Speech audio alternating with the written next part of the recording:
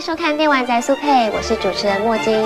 真三国无双系列除了爽快的打击感之外，想必还有许多人是冲着性感又可爱的女将们来玩的吧？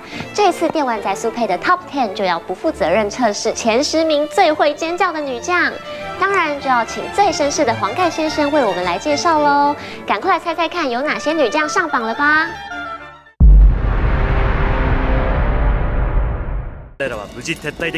王毅。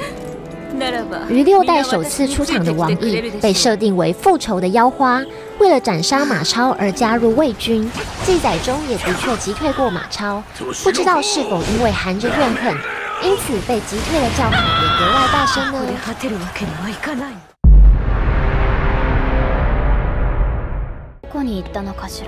王元姬。据说八岁就能熟读《诗经》的王元姬，十五岁就嫁给司马昭。巨乳、人妻、金发等属性，让她自六代出场后人气就居高不下，甚至连叫声都让人难以忽视，以八十三点七分贝排行第九。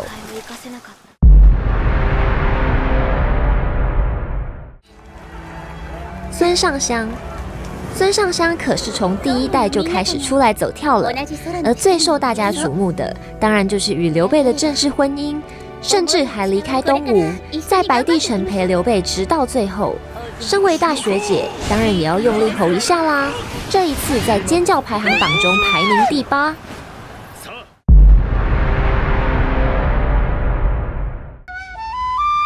甄宓本来是袁绍之子袁熙的妻子。但所谓横刀夺爱才是爱，后来跟在曹丕身边贵为皇后。这一代甄宓虽然不拿嫡子，但是依旧性感，加上有人妻属性加持，叫声果然豪放，摔起来分贝高达八十五点二。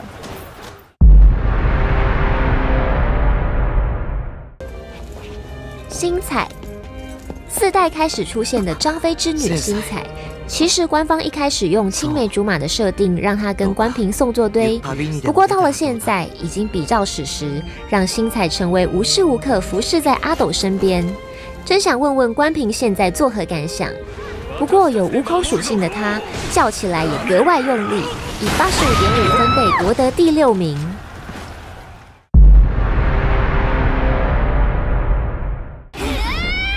关银平。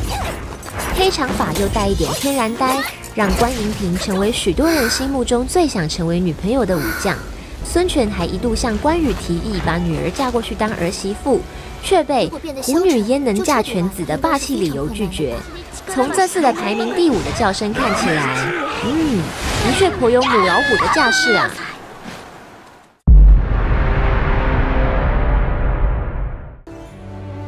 张春华。对王元姬疼爱有加，而且擅长用肉包虏获人心的张春华，似乎对管教丈夫也很有一套，把司马懿管得服服帖帖的。虽然时常挂着笑脸，但把他惹怒可是很恐怖的。大概因为这样，所以被击败的叫声特别大声吧。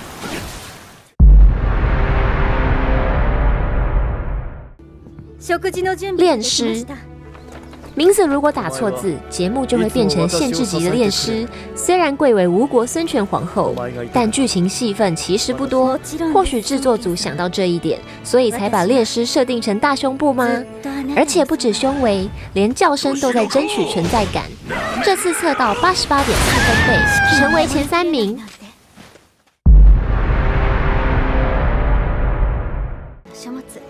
新线音。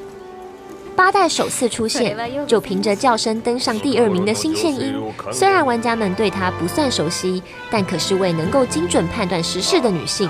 就曾经看破钟会攻打楚国后必定造反，这代初次与大家见面，就用个洪亮的叫声来打招呼吧。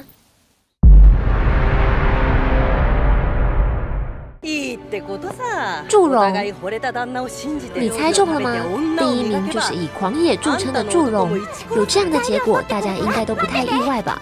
曾经击败蜀国两名大将，不论生理或心理都有不输给丈夫孟获的条件，将近九十分贝的叫声就是最好的证明。这一次用柯南的方式帮大家测试了女将尖叫声，那些比较温柔的女将就难免成为遗珠之憾。但如果你还没玩过，想听听其他人的叫声，就赶快去拜一块回家自己玩玩看吧。今天的电玩宅速配 Top Ten 主题就到这边，我们下次见喽。